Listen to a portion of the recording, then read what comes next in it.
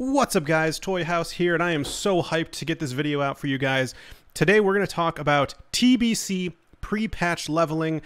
It is so awesome. I can't wait to show you guys some of the different things that have taken place in patch 2.3 as well as patch 2.4.3. Two really big patches that we're going to see in this pre-patch leveling implemented. So I'm going to talk about three things in this video. Feel free to skip around. We're going to talk about gear changes and tips so you can take advantage of those gear changes. There's quite a lot. Leveling improvements. Some of you may be familiar with this, but if you aren't, this could be helpful for determining your style of leveling, whether that's XP, uh, grinding, quest grinding, or dungeon farming. And number three, things you can buy to prepare. And there's quite a few. Uh, and I will go through all of that starting right now. So now let's talk about gear changes and tips to take advantage. So the biggest thing is that all old world dungeons have had their loot revisited, so players will now find that all loot dropped inside instances will be of superior or blue quality. Now, this is awesome. Everything that used to drop that was a green item from bosses uh, will now be blue items, and that doesn't just mean it's going to be uh, changing the color of the text, right? The item itself is actually going to be better. Let's look at some of these examples. Uh, Belt of the Fang. You can see it here that it's green. These are the stats. And boom, now here's the blue version. And that's for all of the green items. Um, Robe of Evocation. Let's take a look at the green version. And let's take a look at the blue version. Amazing, right? It's it's pretty solid improvement. Uh, Smite's Reaver, blue version, and or sorry, green version now, blue version, and uh, in my personal favorite, Robes of Arugal. Uh, and you can see the green version here, and now the blue version here. And what's really interesting is that, in my opinion, Robes of Arugal, the change is actually a nerf for spirit stacking priests, in my opinion. I leveled a priest fairly recently up to 60, and I was stacking spirit like it was the only stat that mattered, and I had pretty much zero downtime. Let me tell you, I think it was the fastest character I leveled to 60, I'm not going to lie. So I actually think Robes of Arugal, uh, if, if you're a priest, not as good. If you're any other, uh, you know, caster, I think they're even better now for you. All right, so that's a big change. Definitely going to probably ch uh, change your leveling plan to maybe lean towards doing more dungeons now because of uh, this change. Uh, now that dungeon gear is all better. Uh, any, any of those greens. Now, the second thing I want to talk about that has to do with gear changes and tips is that low level cloth items uh, have been changed. Uh, low level meaning not max level cloth items. So, all agility and strength on low level cloth items has been replaced with another stat, usually bonus spell damage, but also sometimes other stats beneficial to mana users. Unbelievable, right? So, um, I remember doing this super annoying quest. I had to go all the way from uh, Dustwallow Marsh all the way to Swamp of Sorrows, all the way to the east coast of Swamp of Sorrows, as an Alliance character, mind you um, to gather uh, crawler legs, pristine crawler legs, right? And then I went all the way back to Dustwallow Marsh and I turned them in. And I remember my reward was the Baroque apron.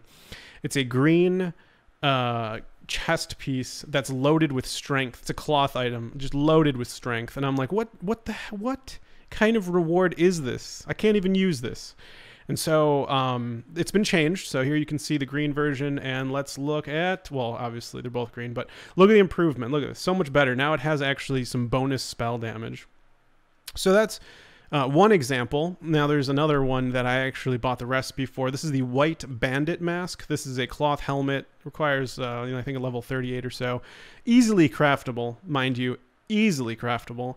Uh, typically, this is a, a, an item you would craft uh, to level up your disenchanting, just because it's so easy to craft. Um, but even if you want to like gold, make a lot of gold, you craft it, disenchant it, sell the disenchanting mats.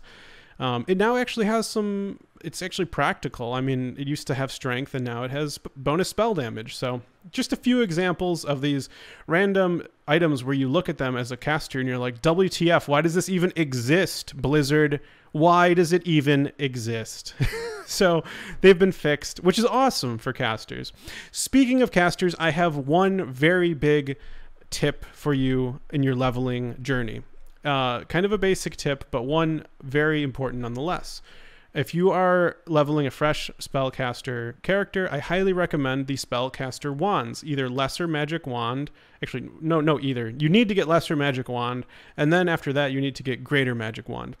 I've leveled warlocks, made well, warlocks and priests, and just it's just so strong to have a good wand early on. I mean, once you get that lesser, lesser magic wand at level six, it's going to speed. You're going to stop casting spells. You're just going to wand stuff down. It really helps if you're a priest. You can just dot and wand. If you're a warlock, dot and wand. Honestly, I haven't leveled a mage, so I don't know how they would do it, but I guarantee having that wand is going to be helpful. It's so good. They're incredible. I highly recommend you pick up those wands. It's going to make leveling so much better. Now, the final tip that I have to help your leveling experience in terms of gear changes uh, is that the Ghostlands Elite quests, uh, at least qu- Elite quest for your blue weapon.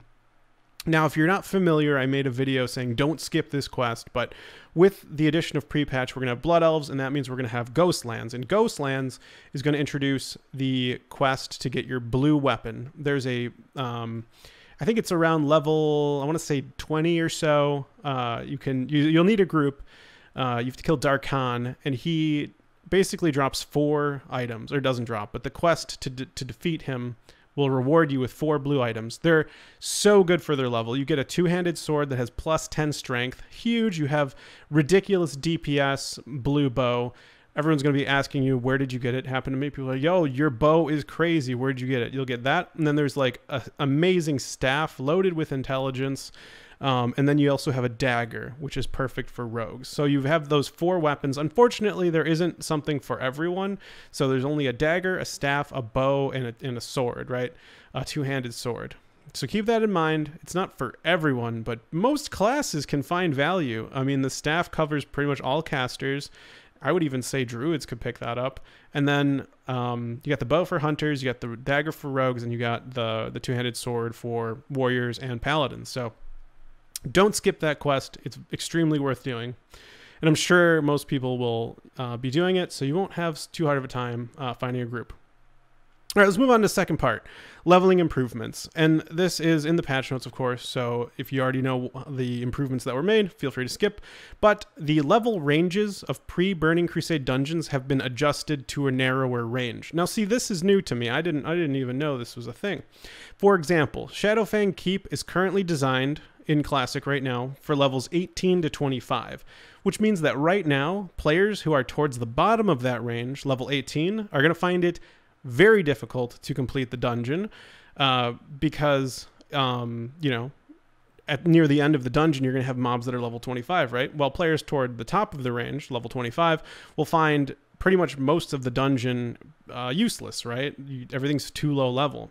So they they're implementing this new model of course uh, and you'll see this with burning crusade dungeon design as well but shadowfang keep is now narrowed for levels 18 to 21. So you're not going to see mobs level 22 or sorry, you're not going to see mobs that, you know, you'd have to be level 25 uh, in order to have them be yellow to you. So this is basically meaning that dungeons are uh, I would say easier, right? Like you're going to they're they're much more like um, specific to certain level ranges, which is awesome. Um, so Shadowfang Keep, for example, is now 18 to 21, and they wouldn't be for 18 to 25, that really large range anyways. So another improvement to dungeons. If you're following the trend like I am, it, in my mind, there's an alarm going off saying, do dungeons when you're leveling, do lots of dungeons because you're going to have improved items. The dungeons are going to be more uh, catered to a certain level. Uh, the gear is improved uh, significantly. Um, and here's another one the amount of uh, dungeon quests have had their experience and faction rewards increased through 1, 1 through 60. So any type of dungeon quests, you're going to be getting more XP from them previously. Fantastic. Now here's uh, an interesting thing. The amount of experience granted by quests has been increased between levels 30 and 60. So hypothetically, you could leverage perhaps boosting from levels 1 to 30 um, you know, the experience granted from Quest only kicks in at level 30. So if you really want to min max, perhaps you want to get boosted from levels, I don't know, uh, 13 around there until uh, 30, and then start questing because there's no quest boost experience until level 30. So um, keep that in mind. And speaking of level 30, don't forget that you can learn to ride your mount at level 30. Another huge improvement. Having a mount, of course, will get you a crazy amount of increase in terms of leveling speed. Um, if you're a paladin, you just learn it at your trainer. It's basically less than a gold. And the final change to leveling improvements is Dustwallow Marsh. Over 50 new quests and a new neutral goblin town called Mudsprocket with a flight path is located in the southern part of the zone. And there's also a quest hub uh, next to the crashed uh, goblin zeppelin. Actually, you had to pick up two parcels, I remember, um, packages for different quests in Classic for that Zeppelin. So most of you, if you did those quests, know what I'm talking about with that crashed Zeppelin. There's also a small questing hub there now. All right, and the final part of leveling improvements is just that many elite creatures and quests, uh, level 1 through 60, are now non-elites to accommodate solo play. Um, I'm sure you all are probably aware of that one. Um, and, I, and also, elites outside of dungeons uh, have been changed to non-elite as well. So it's easier to get to the entrance of dungeons now without having to battle uh, elite mobs. This makes certain quests easier, like 99 year old port, for example um, in, in Wailing Caverns, for example. Okay, now the final part of this is things you can buy to prepare. Now, there's a lot of quest items that aren't actually quest items, they're just items you can buy in the auction house. I was actually browsing and I saw a comment from Frodrick1334, and he listed out all of the items that he had actually purchased uh, to prepare for uh, leveling in pre-patch. So I'm going to post this in uh, the comment section below. This is for Alliance. You, um, the obvious one are the different uh, cloths you can do for donations. For example, level 12, 300 wool cloth for uh, all the different capitals. Now, you might be wondering, 300? I thought it was 260 Toyhouze. Aha! But now with Draenei, there's another capital city, or Blood Elves if you're Horde. Uh, you can donate to them as well. So that's going to bring up the total you need to 300. So 300 wool cloth, 300, um, you know, rune cloth, silk cloth, uh, etc at um, just listing out a few of these Redridge red ridge goulash right? You can buy the Goretusk snouts. You can buy the condor meat. Uh, dusky crab crate dusky crab cakes. Say that six times really fast. Uh, you need you can buy the, the gooey spider legs and so on. So there's a bunch of different things. Of course the lesser bloodstone ore for favor for Krazek I could go on. There's a bunch. But I'm to list those out in the comment section below to help you. Hopefully this is helpful for you guys. I really think that in pre-patch it's going to be way worth your time to do a lot of dungeons. I think they've really improved the gear they've improved the experience they've improved um, basically the dungeon itself by making it more narrow. I think doing lots of dungeons is your way to go in uh, pre-patch and in TBC moving forward um, with with all these changes. So hope this video was helpful helpful for you guys. Uh, if you liked it, don't forget to don't forget to give it a like. If you guys want more World of Warcraft content, don't forget to subscribe. And I'll see you guys in the next video. Take care.